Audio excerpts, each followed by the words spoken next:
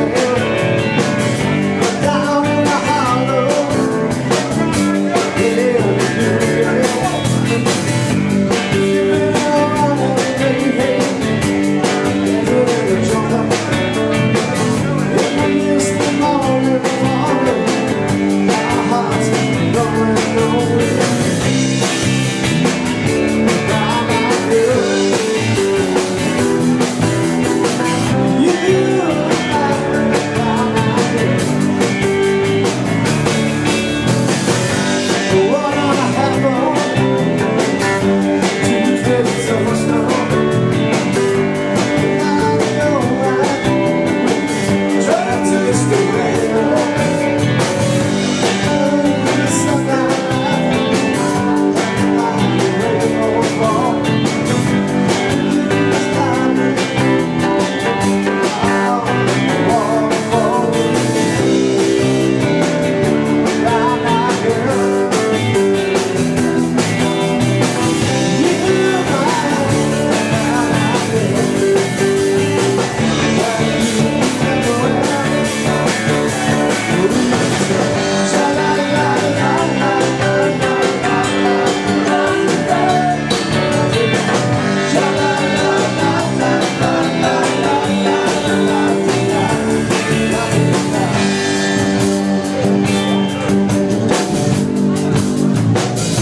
out to Eric on the bass over here.